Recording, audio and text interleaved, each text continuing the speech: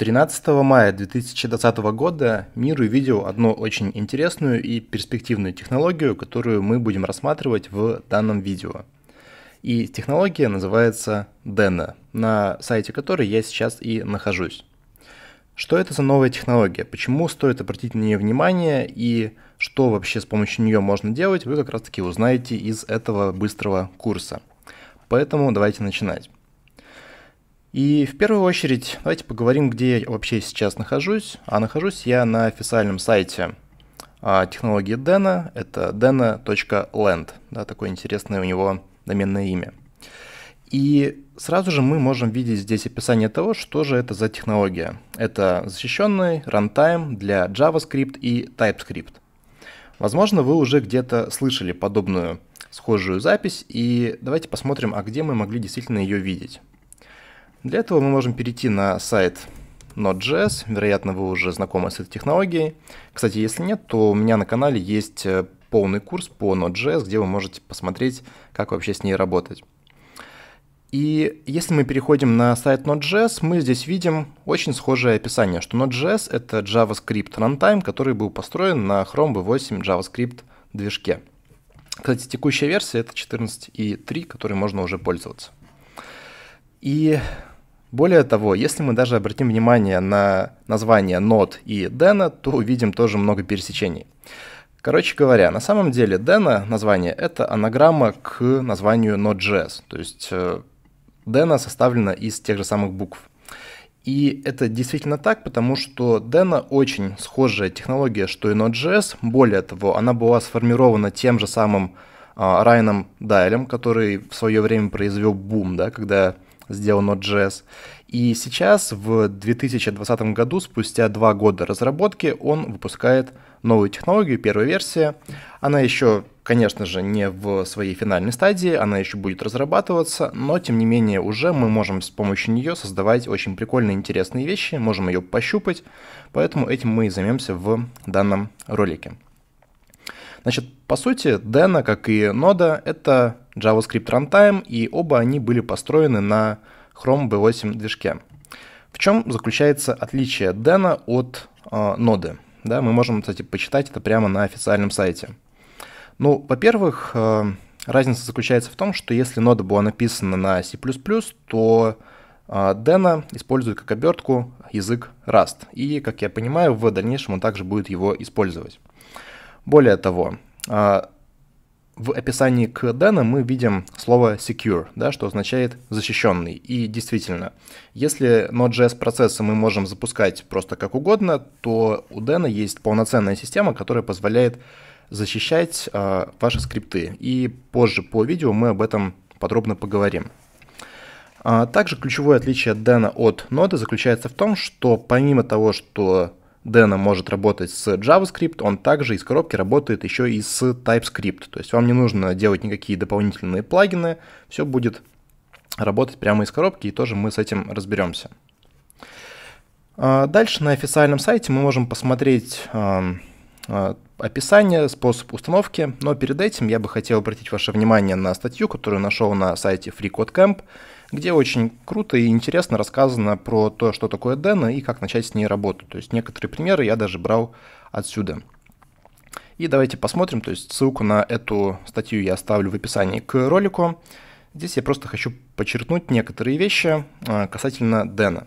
То есть здесь есть а, поле, что такое Deno, и давайте посмотрим, что, во-первых, он а, базируется на самых последних, самых современных фишках JavaScript. И в этом вы тоже убедитесь, что здесь мы будем использовать а, стандарт ES 2020. А, у него есть богатая расширяемая стандартная библиотека, да, то есть определенные модули, которые входят в ядро Deno. А, он поддерживает TypeScript, да, и ровно как и JavaScript, то есть, как я и говорил, не нужно использовать никакие дополнительные для этого инструменты. Deno, в отличие от Node.js, использует не CommonJS, то есть не синтаксис, например, require или модуль exports, он использует а, синтаксис ES модулей, это import, export и так далее, что довольно-таки удобно. А, ключевое отличие Deno от Node заключается в том, что у него нет package менеджера, то есть NPM он не использует, и как он работает с зависимостью, мы также разберемся. Очень прикольная штука является то, что у него есть first, first class await, то есть э, вы увидите на этом простом примере, но э, если вы находитесь на верхнем уровне какой-либо функции, какого-либо кода, то вам не нужно писать async, да, как мы это делаем в JavaScript. Вы можете просто писать await, что тоже позволяет писать более плоский и красивый код. В Deno встроена возможность тестирования, и тоже мы разберемся внутри этого видео. И более того, Deno построен таким образом, что он обратно совместим с браузерным API. Конечно, не полностью, но, допустим, в Deno присутствуют такие функции глобальные, как fetch или глобальный объект window, что довольно-таки нетипично для серверного языка. А, дальше в статье есть тоже много чего полезного, то есть написано предыстория небольшая, да, что Райан там в девятом году создавал ноду, потом он э, начал пересматривать концепт ноды, понял, что у нее есть некоторые проблемы, которые он бы хотел э, разрешить, и вот он два года работал над Дэна, и сейчас он его выпустил. Э, нужно ли нам вообще учить Дэна, и заменит ли это Node.js? Ну, учить Дэна безусловно, можно. Во всяком случае, даже в плане развития, потому что это довольно-таки интересная технология, она использует JavaScript, то, что мы любим. Но при этом э, говорить о том, что Deno сразу же заменит Node.js, некорректно, потому что Node.js — это огромная-огромная инфраструктура, которая развивалась с 2009 года, в ней присутствует большое количество фреймворков, наработок, библиотек, и очень большое количество сайтов или каких-то сервисов используют ноду, поэтому э, нет, Node.js в ближайшее время никуда не уйдет, и Deno просто будет дополнительным инструментом. Более того, вероятно, что а, рано или поздно они, Deno и Node, как-то совместятся, потому что, безусловно, в Deno присутствуют крутые элементы, которые было бы неплохо внедрить в Node.js, и, возможно, они просто будут работать как-то совместно. Но это мы увидим позже. Значит, поддержка TypeScript – есть некоторые различия между Node.js, то есть э, схожесть какая, что они оба написаны на V8 движке Chrome, они оба позволяют работать с серверным JavaScript, ну и есть различия, что Node написано на C++, а Deno работает на Rust и TypeScript, у Deno нет package менеджеров, в данном случае NPM, ну про синтаксис экспортов и импортов мы говорили, в Deno присутствует э, крутая стандартная библиотека, которая, кстати, в своем ядре использует промисы, а, например, не callback, как это было в ноде. Ну, на дворе уже действительно 2020 год, и пора бы уже от callback'ов уходить, там, где это возможно. В Deno присутствует э, security слой и прочие плюсы. То есть на этом я предлагаю перестать читать статью, больше я хочу вам показывать, но тем не менее ее я привожу в описании к ролику, потому что здесь можно найти много интересной полезной информации. Теперь, как нам начать работу с Deno? На самом деле на официальном сайте мы можем опуститься немного ниже, тут есть поле Installation, и видно большое количество различных способов, как вы можете это сделать. То есть если вы работаете, например, в Mac или Linux, то вы можете просто через curl установить Deno, если вы работаете на Windows, я, естественно, это не проверял, потому что у меня не винда, вот, но я думаю, что через PowerShell это возможно. Также хороший способ это будет Chocolate на Windows. Я же установил Deno с помощью э, Brew, Homebrew. И после того, как вы установите значит, Deno, кстати, здесь вы можете еще посмотреть дополнительные опции того, что можно с этим сделать вы можете открыть любой терминал, и ровно как вы работали с Node.js, да, то есть, допустим, если написать здесь Node, то мы попадаем в такой консольный редактор, да, где мы можем выполнять какой-то JavaScript. Например, писать консоль log 1, да, и мы здесь получаем 1.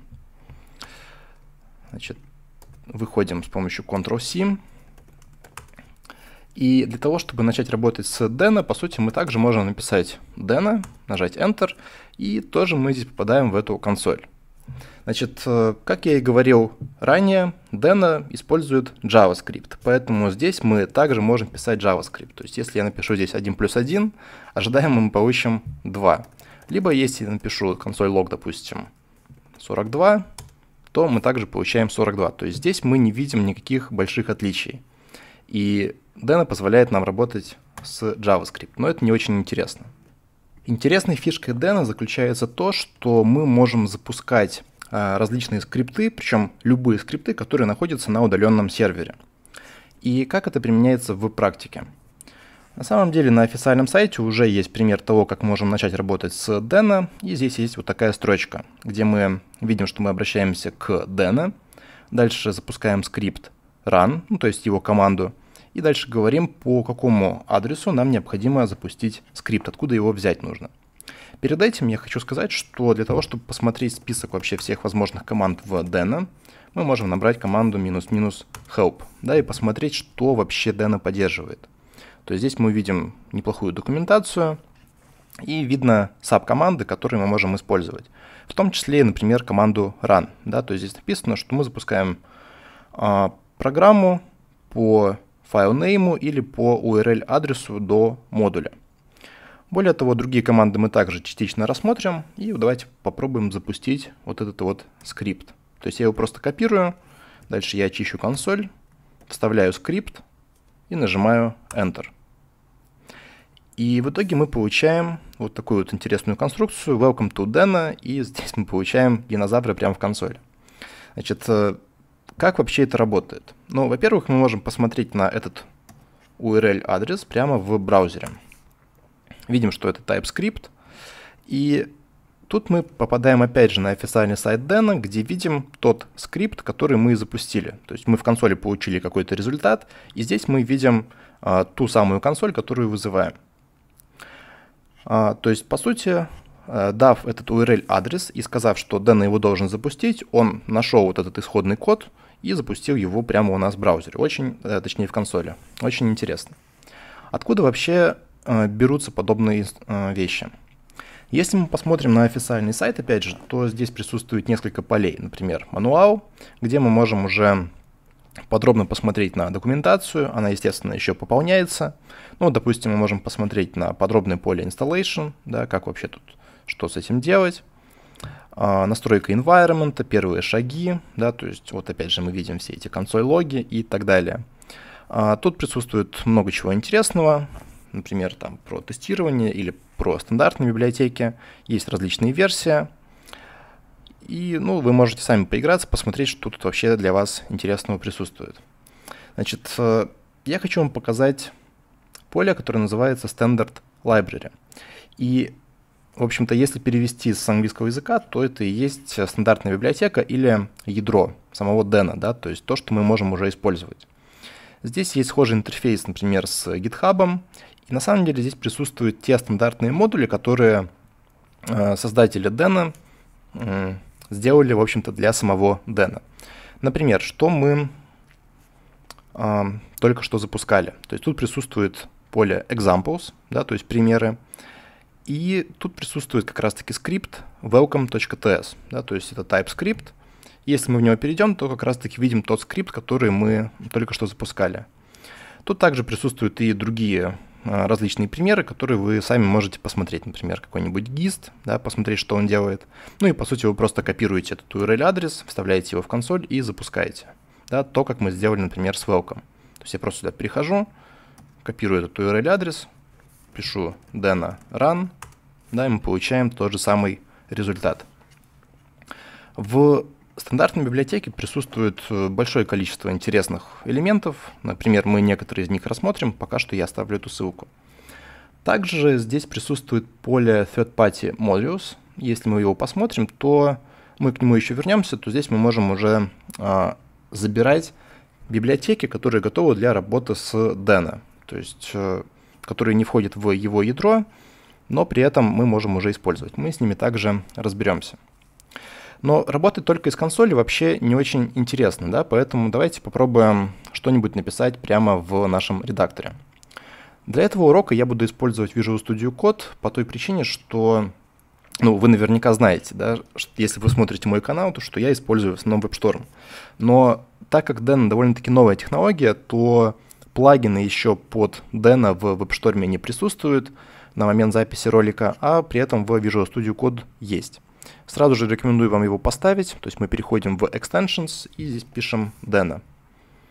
А, я установил первый плагин, у него 20 тысяч скачиваний.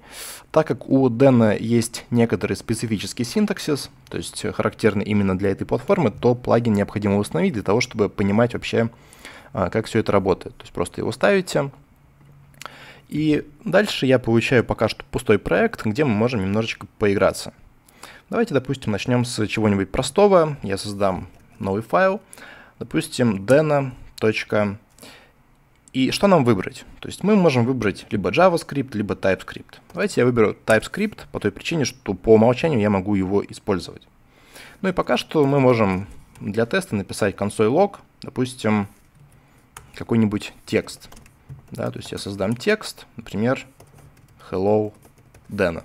И этот текст я выведу прямо в консоль. Значит, э, запускаю новый терминал. И здесь я пишу dana run и файл называется deno.ts. Здесь тоже есть один ключевой момент, и заключается он в том, что в Node.js нам не обязательно было писать расширение файла, то есть мы могли так написать, и все было работало. В Deno это запрещено. Мы всегда должны использовать расширение файлов, потому что э, Райан Даль, создатель ноды, говорит, что это большая проблемная зона, когда нода сама определяет, то ли это JSON, то ли это TypeScript, то ли это JavaScript да, то ли это какой-то другой файл. Здесь же мы всегда обязаны писать э, расширение файла. И если мы нажмем сейчас Enter, то вначале происходит внутренняя компиляция этого файла, да, потому что все-таки мы работаем с JavaScript в итоге. И, ну, потому что TypeScript необходимо перекомпилировать в JavaScript, и получаем этот консоль log Dena. Убедиться в том, что мы действительно работаем с TypeScript очень просто, если мы, допустим, здесь напишем типизацию да, то есть в JavaScript это невозможно. Но при этом, если мы посмотрим, то все равно получаем нужный нам результат. То есть тем самым мы доказываем, что а, по умолчанию свободно работает с TypeScript, и это очень круто. Теперь давайте рассмотрим некоторые стандартные модули, которые присутствуют в Deno, и я просто покажу, как ими можно пользоваться. Значит, для этого нам придется перейти на официальный сайт, а, допустим, в стандартную библиотеку, ну и, например, здесь мы можем посмотреть на модуль DateTime. То есть я в него просто перехожу. Для некоторых из модулей присутствует уже описание того, как им, этим пользоваться. Ну и, например, здесь мы можем посмотреть, что мы можем импортировать четыре функции. Например, а, parse date, parse date time, day of year и current year. Значит, как нам это сделать? Здесь мы можем уже увидеть а, пример того, как мы что-то импортируем, и тут вы можете увидеть большую разницу – потому что а, если бы мы работали в Node.js, то мы бы с помощью npm установили бы какой-то пакет и дальше, как абсолютный путь, его бы указали. Что не скажешь про Deno, потому что здесь мы импортируем прямо по удаленному URL адресу. И это довольно интересная разница, давайте о ней немного поговорим. То есть для начала я просто возьму, э, скопирую этот импорт. Давайте я создам новый файл, допустим, назову его date time. А, просто примеры ради, здесь я создам .javascript, чтобы вам показать, что Deno также свободно работает и с JavaScript. И мы прописываем стандартный ES6 импорт, то есть мы забираем определенные функции из данного URL адреса. Ну и, кстати, благодаря плагину, который мы установили для Visual Studio, мы можем вот так вот переходить, например. Я это делаю с помощью команд клика. Значит, открыть и мы попадаем прямо вот в исходный код этой библиотеки. То есть если мы посмотрим, то вот присутствует экспорт функция parse date, присутствуют различные типы, которые мы можем использовать. То есть мы можем просто посмотреть исходный код. И на самом деле это очень круто, потому что, ну, кстати, мы также можем его посмотреть в Visual Studio код, потому что а, когда мы прописываем подобный импорт, то при первом запуске Deno берет и скачивает данную библиотеку и кэширует ее. То есть, если мы посмотрим, то вот она у меня где-то лежит там. Users, Vladilene, Library, Caches, Deno, Dependencies и так далее. Да, и тут мы можем посмотреть этот исходный код. Вот. Если вы запускаете первый раз подобный импорт, то для начала у вас не будет кэша, ну и для того, чтобы все это скачалось, вы можете просто написать, запустите данный скрипт, то есть run, да, run datetime.js. Да, пока он ничего не делает, но а, так как у меня это уже закэшировано, то у меня он ничего не скачивает. У вас он просто скачает и скажет, что все хорошо. А, соответственно, мы такими импортами получаем доступ до вообще исходного кода библиотек. То есть мы сразу же видим, а, что мы используем. И получается, что вместо централизованного пакетного менеджера NPM мы теперь получаем децентрализованные э, библиотеки, которые могут быть написаны где угодно, кем угодно, и мы видим этот исходный код. То есть мы знаем, с чем мы работаем, и на самом деле это очень круто. Это крутой концепт, который, мне кажется, что отчасти будет внедрен вообще в текущее сообщество. Мы получаем две функции, давайте попробуем ими воспользоваться. То есть, например, ноду я закрою, это я закрою. Здесь мы, например, можем парсить дату. Ну, соответственно, я сейчас просто буду копировать из документации, так как это пример того, как все это работает. Да, то есть здесь мы передаем какую-то дату в строке и говорим, что у нее за формат. Ну и если мы посмотрим в консоли на то, что это такое, сохраним и запустим скрипт, то вот мы получаем уже объект даты, да, с которым мы можем взаимодействовать. А, либо же другая функция parse datetime, которая в принципе делает схожую конструкцию, только мы еще включаем сюда время и часы. Ну, в принципе, время. А, либо, например, мы можем использовать вот такие функции. Да, тоже давайте импортируем. Можем сразу же импортировать. Да, давайте уберем этот parse datetime. Можем оставить импорты в таком формате. Пока что это не очень красиво, но сейчас я покажу, что с этим можно сделать. Ну и, допустим, вот есть два интересных примера, которые мы можем скопировать. Да, то есть я сюда вставляю их. Функция day of year показывает нам, какой это день в году. Да, то есть давайте посмотрим, когда я все это записываю. На дворе сегодня 27 мая. И current day of year. Да, он тоже зависит от того, какой текущий день, да. А этот день зависит от того, какую дату мы сюда передадим. Если я сохраню, запущу, вот мы видим, что вообще сегодня 148 день в году, ну а тот день, который мы передавали, он 70 -й. Здесь мы можем видеть вот какую интересную конструкцию, что вообще сейчас импорты у нас не очень красиво написаны, и ну по-хорошему нужно их поправить, да, например, вот так вот сделать. Но э, прикол в том, что в Deno есть встроенные скрипты, которые позволяют нам более удобно это делать. Например, мы можем написать следующим образом. Deno, и скрипт называется format. Если я запущу этот скрипт, то мы видим, как автоматически применяется prettier. Ну, если вы знакомы с тем, что такое prettier, то вот у меня он тоже установлен в uh, Visual Studio Code. То есть это просто инструмент, который берет и автоматически форматирует а, ваш код под определенный стиль. Да? То есть просто написав Deno формат, мы получаем а, в одном стиле весь скрипт. И это уже встроено в сам Deno, то есть это тоже довольно прикольно. По-моему, в ядре своем он как раз-таки использует Prettier. Это инструмент, который делает, в общем то же самое в различных вариациях. Окей, то есть э, здесь мы разобрались с тем, что мы можем импортировать определенные скрипты с удаленного сервера и их использовать. А, запоминаем то, что они также кэшируются и, естественно, не каждый раз они скачиваются. То есть тем самым мы можем а, их использовать ровно как и NPM-пакеты, только теперь у нас нет никаких зависимостей, нет никаких package.json, node modules и так далее. Что мы можем еще делать с помощью Deno? Давайте, допустим, посмотрим на модуль http.ts я создам, да, потому что мы работаем в TypeScript. JavaScript я создал как просто пример – а, допустим, тоже перехожу в стандартную библиотеку, и, например, тут есть модуль HTTP, который позволяет нам работать с сервером и создавать сервера.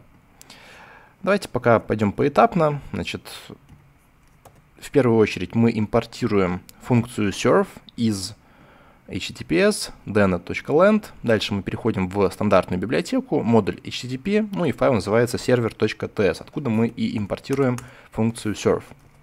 Дальше мы можем создать э, переменную s и вызвать функцию serve, куда мы передадим параметр порт. Ну, допустим, мы все это будем запускать на порту 5000.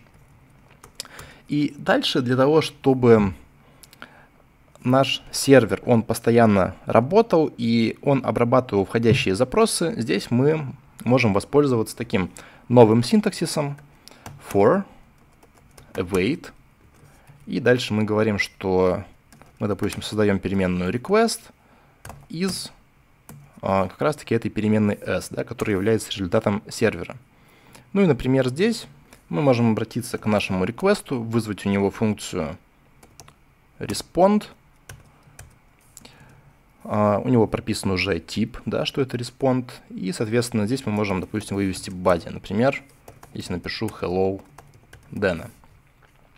То есть uh, вы видите некоторую разницу между тем, как это было сделано в Node.js и как это сделано в Dana.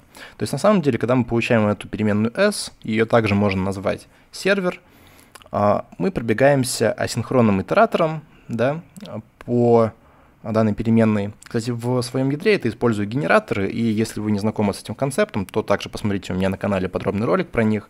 То есть пока он не закончится, мы будем обрабатывать входящие запросы, и на каждый входящий запрос мы будем отвечать э, строчкой hello Dana. Ну и здесь, кстати, мы можем написать в консоли какое-нибудь сообщение, например, сервер has been started on port ну и давайте пока просто захардкодим это все дело на 5000, да, и поставим многоточие. Теперь, соответственно, мы можем попробовать запустить данный скрипт. В консоли я пишу deno run http.ts. Нажимаю Enter. И здесь мы видим сразу же уже ошибку. Давайте почитаем эту ошибку более подробно. Не написано, что... Э, в общем, написано permission denied, что означает, запрещено что-либо делать, например, Network Access, то есть мы не можем получить доступ до нетворка на порту 5000, потому что нам нужен флаг, который называется allow net. Ну и дальше идет код ошибки. То есть, а, когда мы пытаемся запустить такой скрипт, мы должны напрямую сказать Дэну, что вообще-то он может запускать данный скрипт. И это как раз-таки к вопросу о секьюрности. То есть э, мы должны дать ему доступ до работы с сетью. Поэтому мы пишем следующим образом. then run, и после команды run мы ставим флаг allow, allow net, ну и дальше мы уже говорим, какой скрипт нам необходимо с этим флагом запустить. Например, http.ts. Нажимаю Enter, и, в принципе, мы видим похожую запись, которую видели и в ноде. То есть наш сервер был запущен на порту 5000. Если мы посмотрим на localhost 5000, localhost 5000, то вот мы видим нашу исходную строчку hello Dana. Да, то есть если я ее увеличу, то вот вы видите то, что мы здесь и написали. Да, если мы посмотрим исходный код, значит, network, сейчас я сделаю масштаб, all, и если я обновлю страницу, то вот мы получаем этот а, как бы тут убрать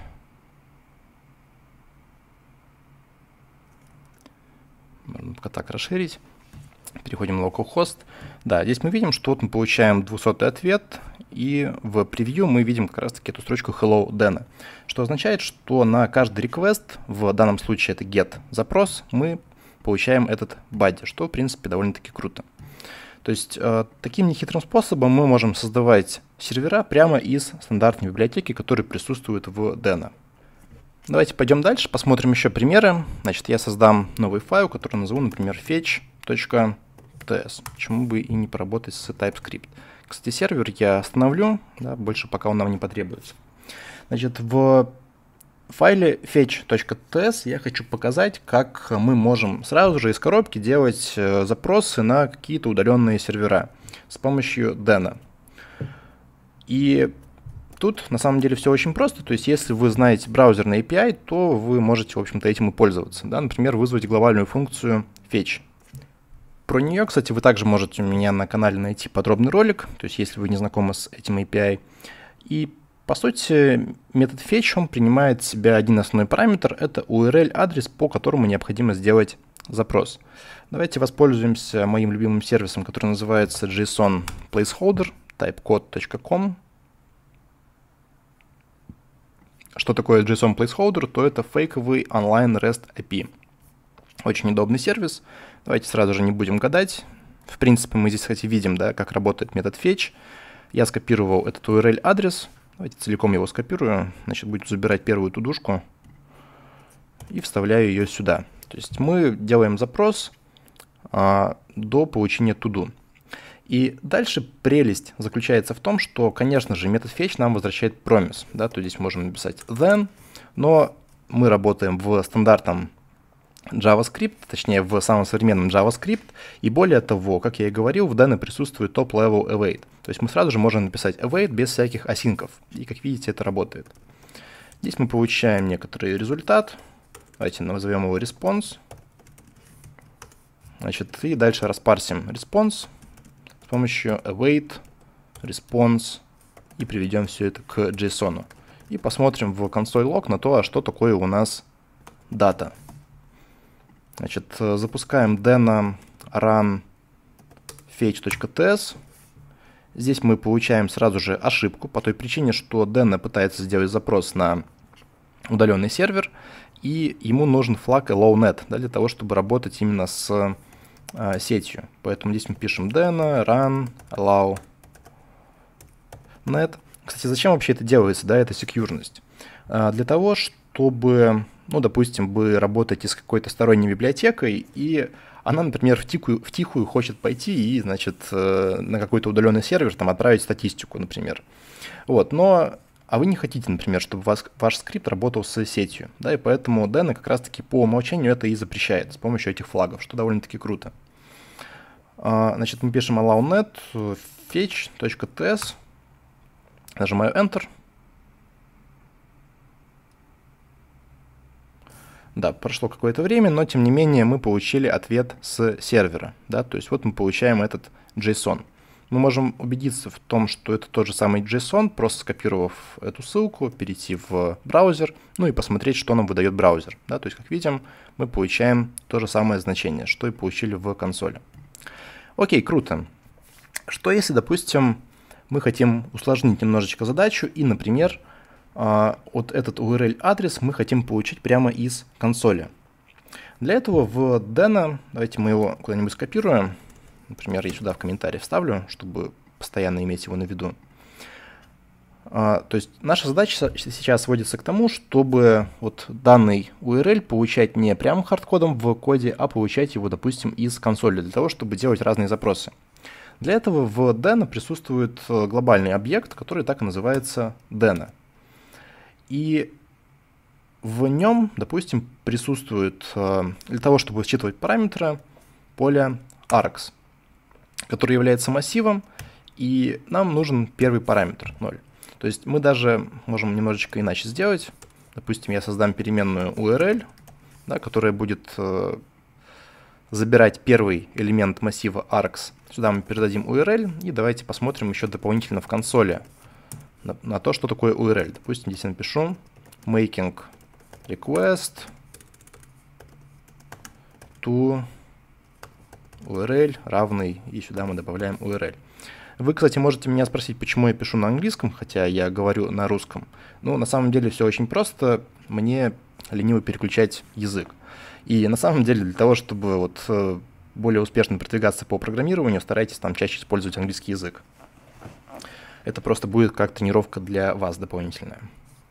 Значит, теперь давайте попробуем запустить заново наш скрипт. Допустим, пока без параметров. И мы здесь получаем undefined, да, making request to URL равно undefined. Ну, потому что действительно мы не передали никак а, этот URL адрес. Давайте его скопируем, и передается он крайне просто. То есть я его просто копирую и запускаю данный скрипт, и после фетча, значит, указываю этот параметр. Нажимаю Enter, и, как видите, мы здесь получаем консоль лог, что мы делаем request на URL такой-то, ну и мы получаем наш ожидаемый результат. Да, то есть, если, допустим, мы хотим, например, третью тудушку получить, я поставил циферку 3 сюда, нажимаю Enter, да, мы делаем уже отдельный запрос, да, и получаем ID 3, у которой уже другой текст. То есть это работает, и а, с помощью вот этого глобального объекта Deno можно с этим взаимодействовать. Про глобальный объект Deno также написано подробно в мануале. Так, прошу прощения, не в мануале, а в Runtime API. Да, здесь присутствует большое количество различных э, функций, которые зашиты в стандартный объект Dena, да, который вы можете использовать. Тут есть много чего интересного. Сейчас я не буду показывать, естественно, все, то есть тут есть подробная документация. Тем не менее, что я хочу вам еще показать сейчас. Как я и говорил, что в Deno присутствует обратная совместимость с браузером. То есть, например, как ни странно, учитывая даже, что мы пишем хоть и серверный код, тем не менее мы можем использовать глобальный объект window. И что более интересно, мы допустим, можем использовать стандартную функцию add event listener. Ну и, например, какое событие мы можем здесь послушать. Скажем, событие load. Да, используем здесь стрелочную функцию. Ну и, допустим, в консоль log я выведу сообщение, ну, например, load внезапно. А, более того, мы также можем слушать, допустим, события unload. Давайте посмотрим, когда эти события у нас будут э, запускаться. То есть я запускаю наш скрипт. И мы видим, что мы уже начали делать request. Ну, на самом деле отработал вот это консоль log. И после этого произошло событие load. Да, то есть это некоторый такой жизненный этап вообще программы. И когда скрипт наш выполнился, то здесь мы получаем unload. Да, то есть э, довольно-таки удобно, что мы можем использовать браузерный API прямо в серверном коде. Ну и, например, когда программа выходит, мы можем там чистить какие-то процессы, например, или чистить данные. То есть э, этим вы также можете пользоваться. Ровно как и такими вещами, например, как set interval, set timeout и так далее. Они также присутствуют в Deno. Даже сейчас не буду тратить время, чтобы их показывать. Что еще интересного я хочу показать? Хочу еще немножечко расширить э, понимание флага AllowNet. Допустим, значит, э, мы можем не только разрешать программе делать какие-то запросы э, в, по сети, да, вот, например, таким образом, а мы можем прям конкретно говорить, по каким адресам можно делать эти запросы. Ну, например, я хочу, чтобы эта программа имела возможность делать запросы только на этот вот JSON placeholder typecode.com. Да, то есть я его копирую и говорю, что allownet только по этому адресу. Нажимаю Enter и видите, все работает. Но теперь, допустим, если я, скажем, поменяю наш JSON placeholder, например, на... Да, я уже сейчас правлю именно параметр URL, а, который передаю, например, на vk.com. Понятно, что сейчас там нет такого todos 3, тем не менее. Нажимаю Enter. А, мы видим, что мы сразу же получаем ошибку, еще до того, как вообще наша программа начала делать запрос. Потому что, а, вот, читаем ошибку, Network Access, то есть доступ по сети к vk.com не работает, потому что мы явно сказали, что мы можем делать запросы только на JSON placeholder type код. Да, если мы здесь, допустим, а, поменяем это все на vk.com, то запрос будет отработан, но, естественно, он будет некорректен. Так. Нужно немножечко поправить.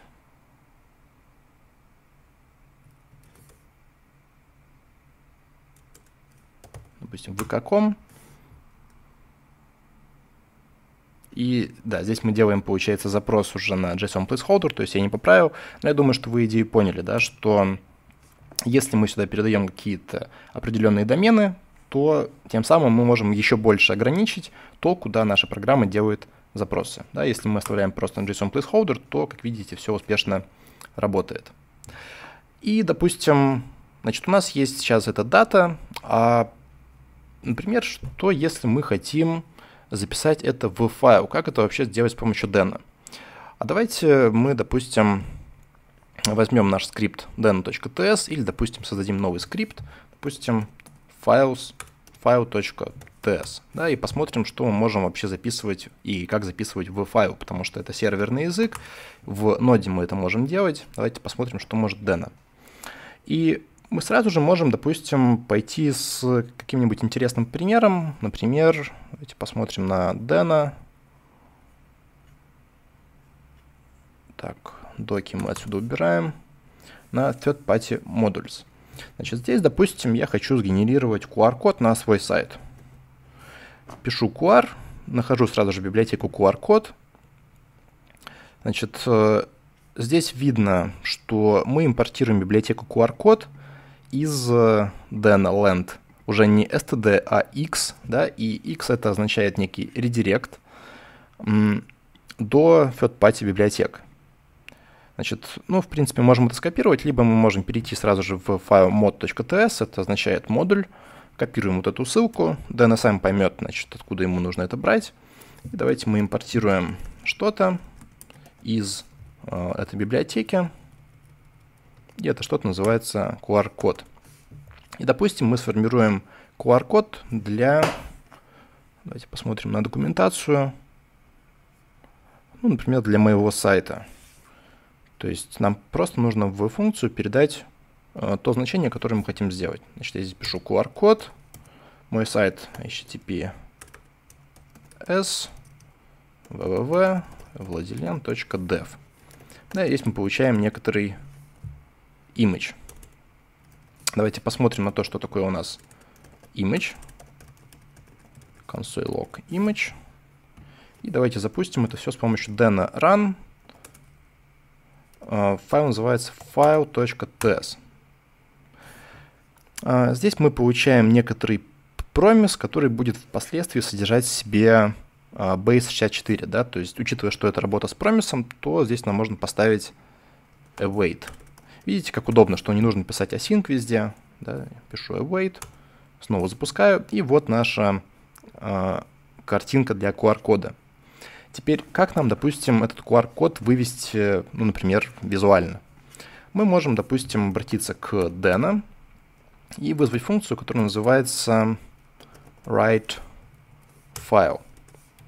Значит, здесь мы говорим, в какой файл мы хотим это записать. Допустим, файл называется будет vladilен.html HTML, или давайте лучше назовем его QR code.html. И сюда мы передадим, допустим, в таких кавычках, ну, просто так image. Image source. Закрываем картинку. И сюда мы передаем этот image. Значит, это у нас тоже а, асинхронная работа, да, поэтому здесь мы пишем await. Давайте посмотрим. Значит, давайте я вначале очищу консоль, чтобы было понятно, что я здесь пишу. Clear и пишу dena run file.ts. Давайте посмотрим только, что не так с этим. Да, значит, есть тут некоторая ошибка. А, давайте пока оставим. Понятно, что это не заработает, но я просто поэтапно поясню, в чем проблема. Нажимаю Enter. Да, и Изначально, учитывая, что мы работаем в TypeScript, мы уже видим, что есть несовпадение типов, и он не дает нам запустить программу. Это на самом деле круто. Да, то есть мы не створили какую-то ерунду, TypeScript нам сразу же сказал. На самом деле, действительно, для того, чтобы записывать что-то в файл, нам нужно это закодировать. Поэтому для начала я создам переменную encoder с помощью ключевого слова new и э, глобальный класс текст encoder.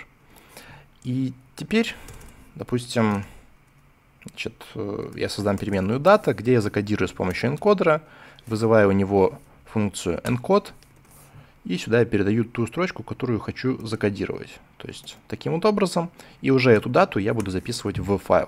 То есть теперь видите, что у нас нет проблем с типами, и теперь мы можем продолжить. Значит, я делаю clear и заново запускаю скрипт. И опять у нас проблема. Но проблему эту уже мы видели, потому что здесь написано permission denied, и мы не можем записать что-то в файл. То есть для этого нам нужен флаг allow write. Поэтому, ну это, то есть другой permission, да, который мы, мы должны использовать. Давайте так сделаем. then run allow значит, write и file.ts. Теперь все хорошо, и мы видим, что мы получаем здесь файл QR-код. Да, вот он наш HTML. Мы можем посмотреть на него в браузере. Open in Default Browser. Это у меня extension. И вот мы получаем этот QR-код. То есть если а, мы на него, на него наведем там QR-код а, считыватель там, или iPhone, то мы перейдем на мой сайт, что довольно-таки круто. Вот, но это доказывает, что вот мы спокойно взяли и записали это все в файл. А, соответственно, таким же образом мы можем и считывать эти файлы. То есть, э, ну, например, давайте создадим для этого, допустим, новый скрипт. Допустим, я его назову read.ts. А почему бы и нет? Давайте для read мы, допустим, а, создадим какой-нибудь файл, или круче, если, допустим, у нас есть файл fetch.ts, вот у нас тут есть какая-то дата, давайте для этой даты как раз-таки создадим какой-нибудь новый файл для того, чтобы протестировать с ним вообще работу. То есть для этого мы уже знаем, что мы можем воспользоваться await, dena, write file. Значит, файл у нас будет называться, допустим, data.json. Ну и сюда нам нужно закодировать этот JSON. Да, то есть э, мы можем так вот написать сразу же new text encoder, создаю инстанс этого класса, дальше вызываю метод encode, и для того, чтобы JSON именно записать в JSON, нам также нужно еще здесь вызвать JSON stringify data. Иначе это будет объект, иначе это работать не будет. То есть вот мы сделали наш скрипт. Давайте попробуем найти запуск этого файла. Я просто стрелочку вверх нажимаю. Да. Сейчас, если я запущу, то это не заработает, потому что нам также нужен флаг allow write. Да, давайте мы его добавим. Значит, э, эти параметры, они, должны идти для команды run, да, поэтому я здесь ее пишу. Allow write. Так, и вот мы получаем data.json, где как раз-таки мы записали те данные, которые нам прилетели с сервера. Теперь для того, чтобы считать этот файл в файле read.ts, мы можем обратиться к dena, open, название файла data.json. Здесь мы ждем, пока Dena все это нам сделает и запишет все в переменную файл. Дальше. Нам нужно подождать, пока Dena скопирует содержимое файла, да, то есть мы указываем, что это файл в dena, допустим, std out, для того, чтобы мы посмотрели, посмотрели его содержимое, и после этого нам необходимо файл закрыть, то есть файл close. Теперь, если мы запустим dena, run read.ts, то мы все равно получаем ошибку, но мы уже знаем, что с ней делать, то есть нам нужен флаг allow read. Да, поэтому здесь мы пишем then run, allow, read, и вот мы получаем определенную конструкцию, да, то есть мы считали тот файл, который мы сами и создали. Окей, значит, э, следующее, что я хочу вам показать, это тестирование. Давайте я создам для этого отдельный каталог, допустим, назову его тестинг, и давайте я здесь создам какой-нибудь простой файл, допустим, я его назову calc.ts.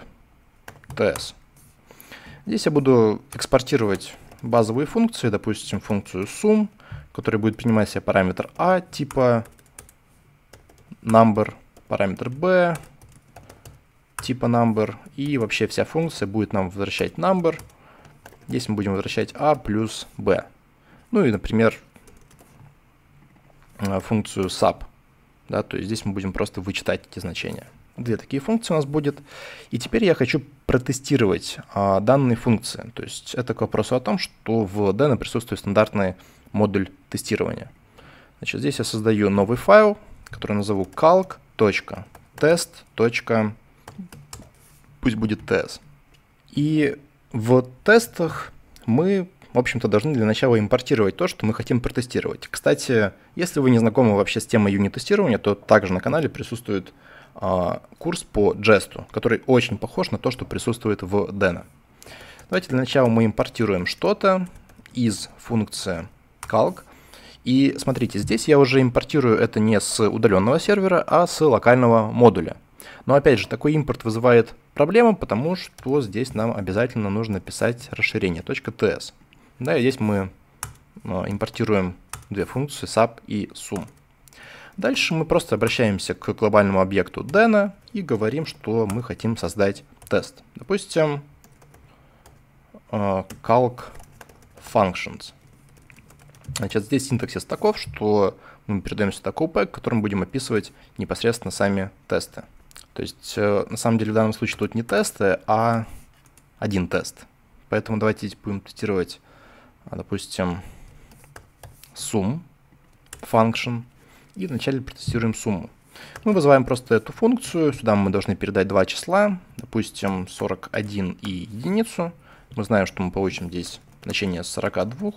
Это, в принципе, логично. Я запишу это все в переменную result. И как нам проверить, да, вообще это? То есть в Jest, например, присутствует а, функция expect. Давайте посмотрим в стандартную библиотеку, standard library. Тут присутствует поле testing, и модуль называется asserts. Значит, если мы посмотрим, что он нам экспортирует, он экспортирует функцию equal, например, uh, assert или, например, assert equals. Давайте скопируем этот модуль. Значит, импортируем что-то из uh, asserts, и нас интересует функция assert equals. Дальше мы просто ее вызываем и говорим, что нас интересует result, который должен равняться, естественно, 42. И для того, чтобы все это дело запустить, мы просто напишем команду dena test. То есть дальше он просто найдет все файлы с э, расширением .test и запустит их. Смотрим, да, все, один тест у нас пройден. Давайте то же самое протестируем функцию sub. Значит, э, subtract, да, сокращенно. Допустим, мы из 43 будем читать единицу. Я думаю, что идея просто тут ясна, и, естественно, мы также хотим получить здесь 42. Давайте запустим Deno-тест. Вот у нас два теста пройдены. Допустим, если мы здесь, скажем, допустили ошибку, давайте посмотрим, падают ли тесты. Да, тесты падают, то есть давайте на них посмотрим. Ожидалось 40, точнее, пришло 42, а мы ожидали 421, что, в принципе, некорректно, но я думаю, что это легко поправить, если мы запустим тесты. Как видите, все работает. То есть таким образом а, довольно-таки просто можно тестировать, и дальше вы можете вот посмотреть, э, какие функции здесь вообще присутствуют и что с помощью них мы можем делать. А, на фоне этого я также хочу еще рассказать про версионность этих пакетов, потому что понятно, как версионность работает в NPM, например, но как это взаимодействует с DEN. Здесь мы можем посмотреть вот на эту вкладку, то есть текущая версия это 0.53.0, и, допустим, мы хотим прям специфическую версию для пакета тестирования, ну, например. Как нам это сделать? Или, например, то же самое мы можем использовать для там, того же datetime, например. То есть здесь тоже стандартная библиотека, и как нам обозначить, что мы хотим именно специфическую версию, для которой, кстати, текущая версия datetime это тоже 0.53. Видимо, это версия вообще для всей стандартной библиотеки. То есть, как нам ее обозначить? На самом деле все очень просто. Давайте все-таки это на тестах проверим, потому что чуть меньше импорт. А, я просто возьму, скопирую этот импорт. И, например, я говорю, что мне потребуется, да, то есть я с помощью собаки указываю ту версию, которая мне нужна. 0, 53, 0 версия. Да, если мы сохраним и запустим опять же deno тест, как видите, все работает. А, да, если мы хотим другую версию какую-то, то, соответственно, и версию мы здесь укажем другую. Но что если у нас присутствует большое количество различных файлов, а, в которых мы а, тестируем что-то и на самом деле довольно-таки безумно каждый раз прописывать вручную эти версии, потому что если мы захотим их поменять, то нам придется изменять большое количество файлов. То есть как нам быть с этой ситуацией? Есть очень элегантный выход, если мы, допустим, берем и создаем э, какой-нибудь файл, допустим, я назову его dependencies. Точка. Здесь без разницы, что писать, допустим, пусть будет TypeScript. И в одном файле dependencies, я, кстати, очень надеюсь, что я его корректно здесь э, написал, мы берем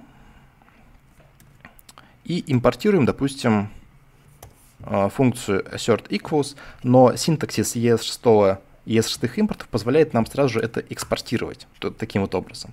И получается, что у нас есть одна точка входа, где мы один раз обозначаем какую-то версию, и вот дальше мы работаем уже в этом файле. То есть это не какой-то package.json, который автоматически делается, это мы сами управляем. Да, и, соответственно, всю стандартную библиотеку, если нам нужна для нее специфическая версия, мы вот таким образом и указываем. А, соответственно, здесь, для того, чтобы assert equals этот получить, мы импортируем его уже в, а, из а, файла dependencies.ts. Да, и функция называется assert equals. Если мы запустим опять все это, как видите, все работает. Окей. И Давайте теперь немножечко потренируемся на Deno, потому что мы рассмотрели базовые модули, какие-то возможности. Давайте попробуем написать э, какой-нибудь простой REST API э, сервер, да, который будет вообще э, показывать, как все это работает. Для этого я создам новый файл. Допустим, я назову его rest.ts. И здесь мы как раз-таки попробуем поработать с REST, как ни странно. Но для этого мы не будем использовать стандартный модуль HTTP, который мы рассмотрели. Для этого мы посмотрим на другой модуль, который присутствует в Deno. Он находится в Third Party Modules и называется он OAK. Здесь мы видим, что это middleware, фреймворк для Deno HTTP сервера, который включает uh, роутер middleware. В общем-то, штука это такой гибрид между Koa и экспрессом которые вы очень хорошо должны знать. И в принципе здесь есть примеры того, как все это использовать. Давайте сразу же напишем импорт. То есть мы импортируем application с данного адреса, и мы можем сразу же создавать объект app через new application. Значит, дальше, если мы посмотрим, то вот мы его создали. Для того, чтобы его запустить, мы можем просто написать app listen. То есть синтаксис пока что очень похож на Express. Значит, давайте напишем здесь await, up, listen. И здесь нас интересует порт, допустим, 5000. Но логично вынести порт в отдельную переменную, да, чтобы это не был хардкод. То есть здесь где-нибудь я напишу const port равно 5000. И учитывая, что ключ и значения совпадают, то вот мы можем оставить такую красивую запись. Дальше я в консоли напишу, что app has been started on port. Сюда я могу вывести динамический порт. Ну и там поставить многоточие. Наверное, без пробела. Все, то есть мы сделали наш первый сервер. Давайте попробуем его запустить. Значит, deno run rest.ts. Мы получаем здесь сразу же ошибку, потому что не найдено никакого middleware. Потому что нам необходимо сразу же создать роутер. Давайте мы его импортируем, роутер, и создадим его где-нибудь здесь. То есть const router равно new router. Ну и как и в экспрессе, мы берем и пишем, что с помощью функции use мы этот роутер добавляем для нашей middleware. Но единственное, что так это не работает, видите, тут появляется ошибка, если мы просто передаем роутер. Здесь нам необходимо вызвать функцию routes. Таким образом. Теперь, если запустим, мы все равно получаем ошибку, потому что нам необходимо добавить флаг allowNet. Давайте мы его добавим. allowNet.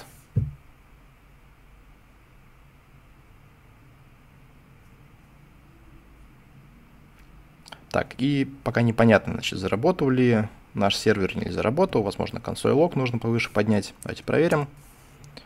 Пока не работает. То есть нам дальше необходимо добавить определенные обработчики.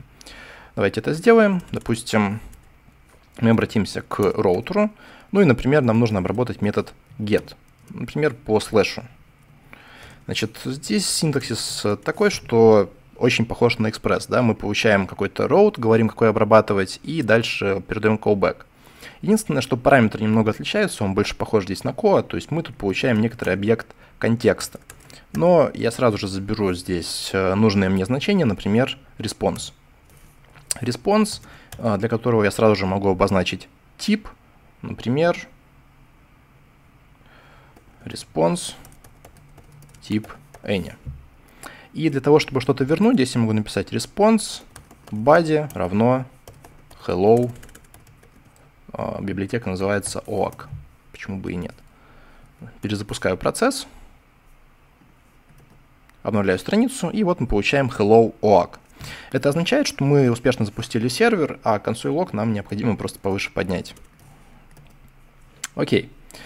Но вообще это пока что не очень весело, потому что мы просто значит, делаем не REST API сервис, а просто какой-то сервер, во всяком случае он нам отвечает. Давайте попробуем поработать с данными. Пока я не буду сюда подключать базу данных, да, потому что все это еще немного сыровато, плюс тема урока не об этом. А, поэтому я создам просто массив users.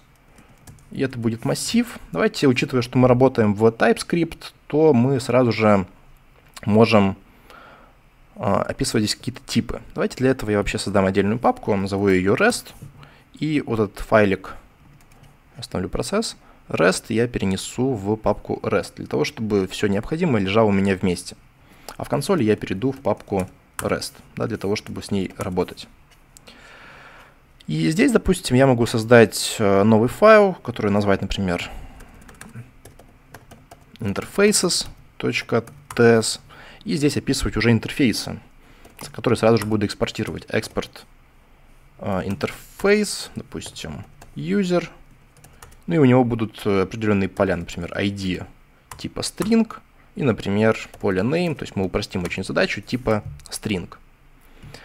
Мы говорим теперь, что массив users это массив, состоящий из э, объектов типа user.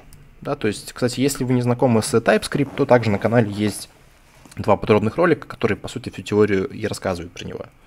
Ну и давайте сюда добавим по классике несколько человек, допустим, ID 1, и name у него будет, как ни странно, Владилен.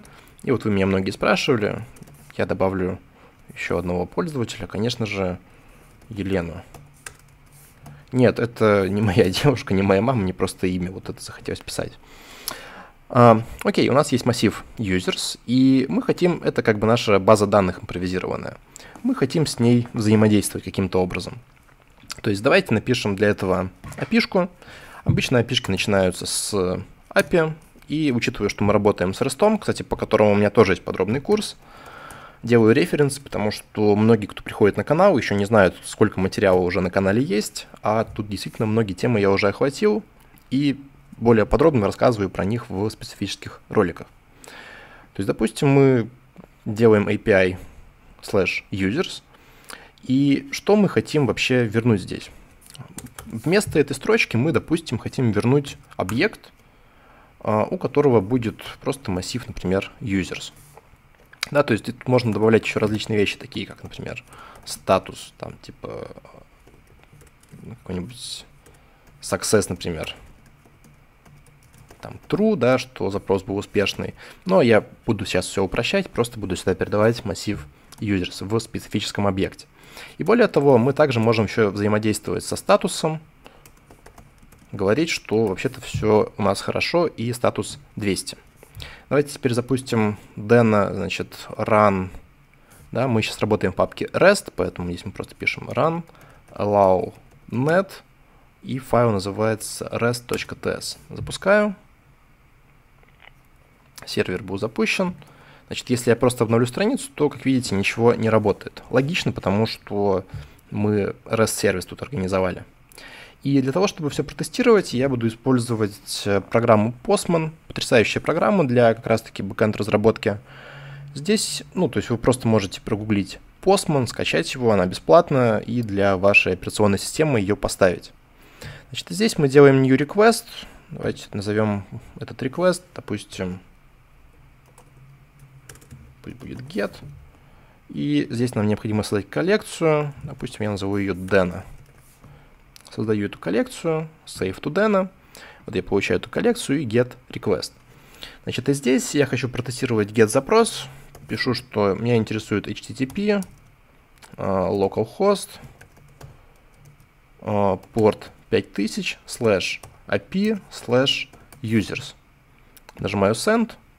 И вот мы получаем такой ответ. То есть get запрос мы успешно осуществили. Значит, э, что мы делаем дальше? Первый get запрос мы сделали. Дальше, по сути, мы можем зачейнить, то есть э, снова вызвать метод get, например, и сказать, что мы хотим получить специфический а, какой-то пользователь. Да, то есть также slash API, slash, например, users, и здесь мы указываем динамический параметр, например, ID. Здесь также указываем callback, и тут уже нам потребуется, ну, естественно, не весь контекст, а, во-первых, объект response. Тоже давайте сразу же будем описывать тип. То есть с помощью объекта response мы возвращаем какие-то данные. И также нам тут потребуется еще поле params.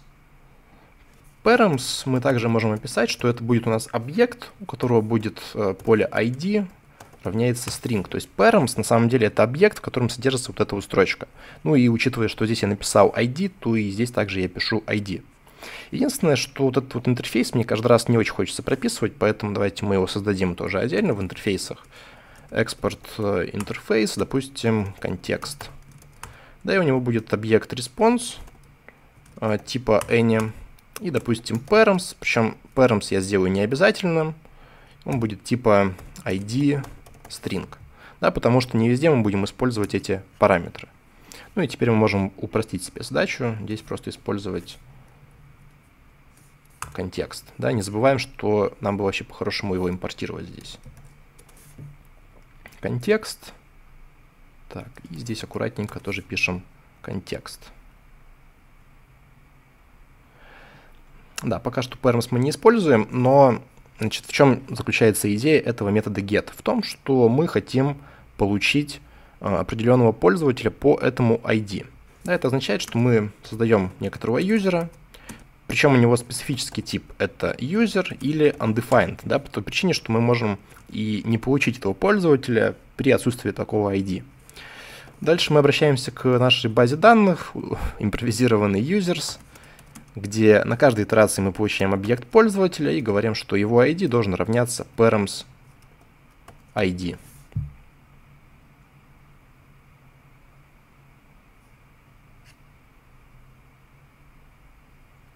Тут есть... Ага.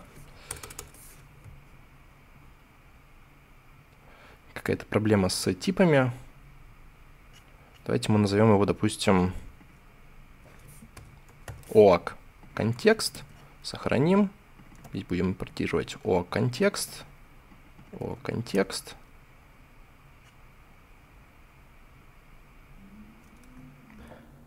Так, все равно он не хочет пока с этим контекстом делать. Ну окей, давайте пока не будем заморачиваться с типами. Значит, пускай он будет. Окей. Здесь мы просто напишем, что мы ожидаем response типа any. Не проблема. Response any params тип ID string. То есть, окей. Если он хочет так, пускай будет так. И мы а, ищем пользователя и дальше спрашиваем, что вообще, если такой пользователь у нас есть, да, то есть он у нас не undefined, то тогда мы говорим, что response статус у нас равняется 200 и response body у нас будет равняться, допустим, также пользователю. А иначе мы будем говорить, что response статус у нас равняется 404, то есть пользователя мы не нашли, и response, допустим, body равно message user not found. Давай теперь запустим сервер, попробуем кого-нибудь найти. Значит, отправляем запрос на пользователей, вот мы их находим. Если мы хотим, допустим, найти Владилена, то есть первый uh, а, ID, вот мы получаем ID1. Да, если мы сюда прописываем 2, мы получаем Елену. Если мы прописываем здесь 4, message user not found. Супер, это работает. Теперь мы get можем свернуть. Давайте теперь попробуем создать какого-нибудь пользователя. А, для создания в REST мы используем пост API users, да, без параметров. Здесь мы, значит, прописываем callback, где мы прописываем, что нас интересует response, а, response типа any, да, чтобы не описывать его интерфейс. И в первую очередь здесь, э, то есть когда мы обрабатываем метод post, нам необходимо получить какие-то данные из э, запроса. Для этого мы используем другой параметр э, request. Из контекста, тоже давайте опишем у него тип, request, тип any. Да, то есть э, очень похоже на Express middleware, опять же, да, потому что там был э, res reg, да, и по сути здесь мы тоже вот описываем их целиком. И дальше, в первую очередь, нам необходимо получить э, значение body из этого реквеста. То есть здесь мы пишем body равно await request body, да, для того, чтобы получить эти значения. Но здесь уже мы получаем ошибку с await, потому что мы уже находимся в функции, да, не на верхнем уровне. Поэтому саму функцию нам нужно сделать асинхронной. Дальше мы можем спросить, что если в request has body ничего нет, да, то есть это другой параметр, а, то вообще мы пользователя создать не можем. Да? По этой причине мы можем сказать, что response статус равняется 400, да, то есть ошибка на неправильные данные. Вы можете посмотреть статус кода, ну и, например, сказать, что response а, body равняется, допустим, message invalid, например, data. Если же в баде что-то есть, то тогда мы создаем нового пользователя. Значит, const user равно... Um, здесь мы должны обратиться к тому баде, который мы получили, но на самом деле у него присутствует поле value. И давайте сразу же укажем явно тип, что это у нас будет тип user. Более того, юзеру нам необходимо добавить еще и ID. Но там добавлять его вручную не очень интересно, мы можем обратиться к стандартной библиотеке Dena, и тут присутствует э, модуль, который называется UID. Вот написано, как его использовать, то есть мы импортируем, допустим, v4id и дальше вызываем функцию generate для того, чтобы создать а, вообще этот ID-шник. Да, поэтому здесь мы его импортируем и говорим, что v4 нам нужно вызвать метод generate для пользователя, дальше обновить нашу базу, то есть с помощью метода push сюда засунуть этого пользователя. Ну и, например, а, сказать, что response статус равняется 201, да, что-то было создано.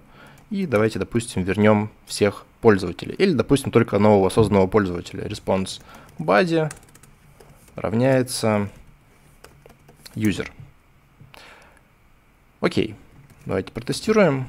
Значит, э, Пока что, если мы получим всех наших пользователей, то вот они. А, тут есть всего два элемента. Теперь мы хотим отправить пост-запрос по этому адресу. Дальше переходим в body, raw, выбираем здесь JSON и говорим, что мы хотим создать, естественно, нового пользователя с ключом name, и у него будет имя Игорь. Нажимаю send, и в ответ мы получаем пользователя, у которого есть имя name и вот этот ID, который мы сгенерировали. Теперь, кстати, если мы получим всех пользователей, нажмем send, то вот он присутствует у нас в массиве базы данных, что довольно-таки прикольно. А, давайте напишем еще два запроса. Допустим, метод put, который позволяет модифицировать какого-либо пользователя. API, users, нам нужен ID-шник, да, по которому мы будем это все модифицировать. Здесь мы описываем callback, где мы получаем params, response, и тут нам потребуется еще и request. То есть э, давайте мы скопируем тип params id string.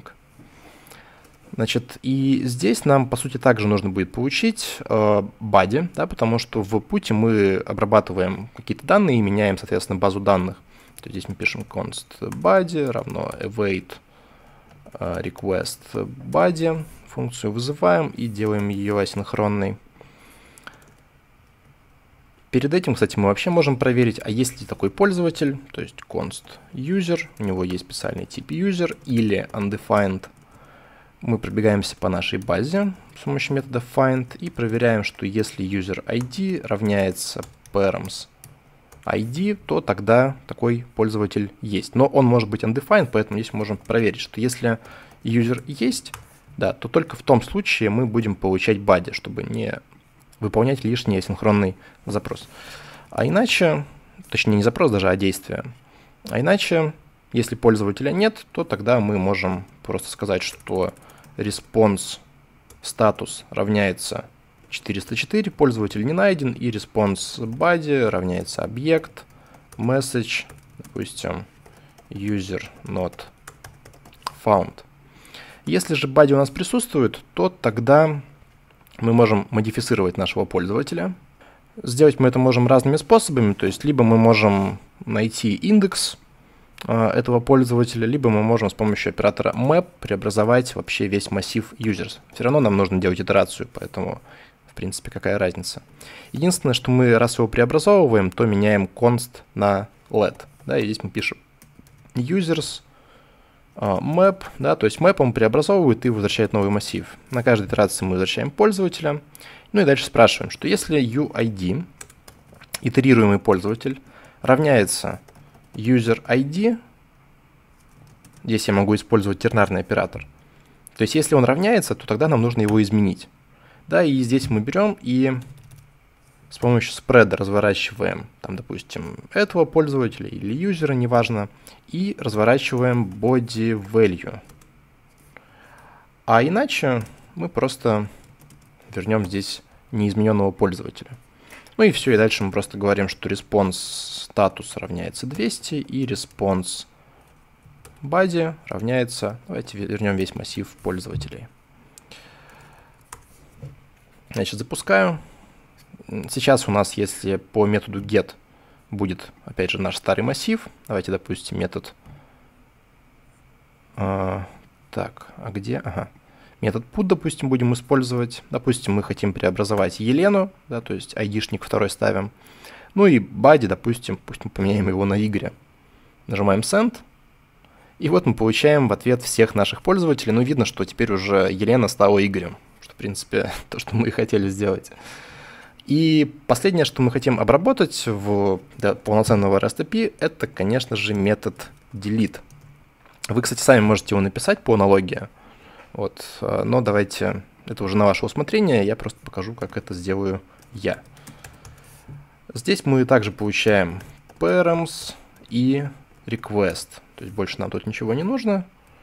И дальше говорим, что какие типы у него есть. Да, у params это объект, у которого есть поле ID типа string, а объект не request, а response. Нам тут нужен ответ. А response это будет тип any. И по сути, здесь мы также можем найти юзера, который нам нужно удалить.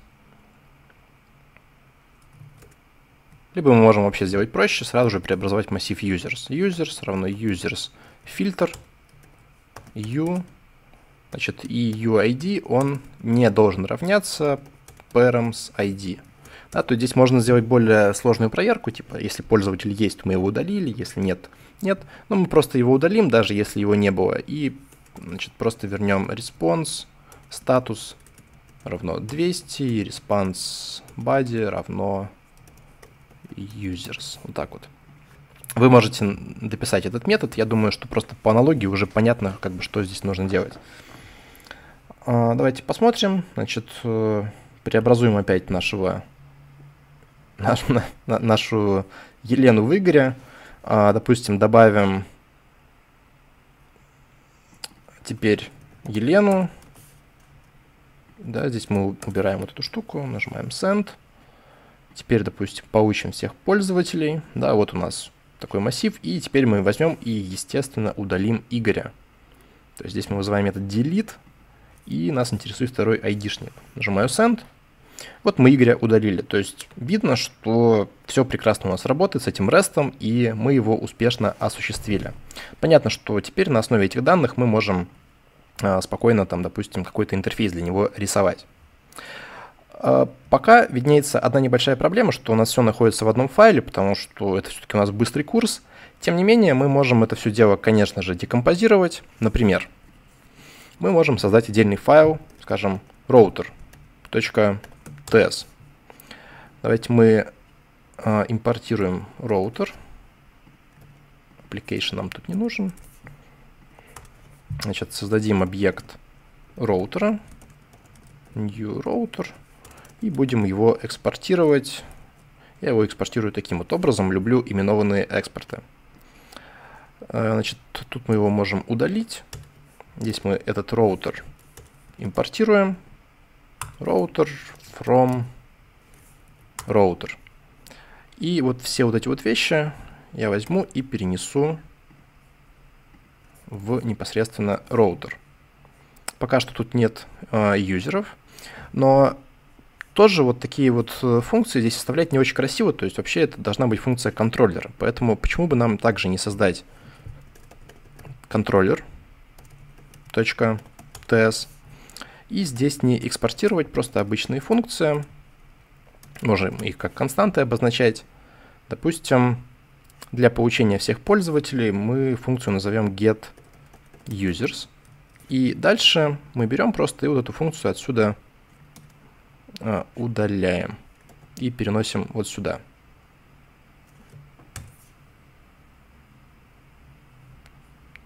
Так.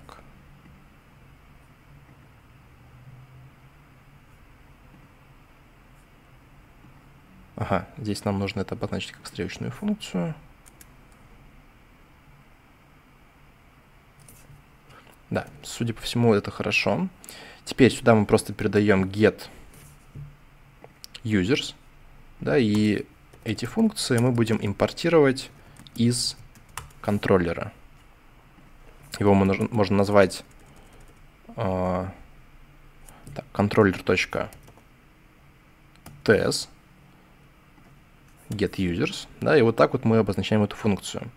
Да, теперь это будет все немного нагляднее. Единственное, что у нас опять есть проблемы с непосредственно пользователем, но, во-первых, мы можем этот интерфейс вынести в сразу же контроллер, и нашу импровизированную базу данных мы также можем вынести в контроллер, да, потому что мы именно тут с ней работаем. Давайте поправим наш главный файл, то есть здесь у нас .ts должно быть. V4 мы перенесем в соответствующий файл, в контроллер.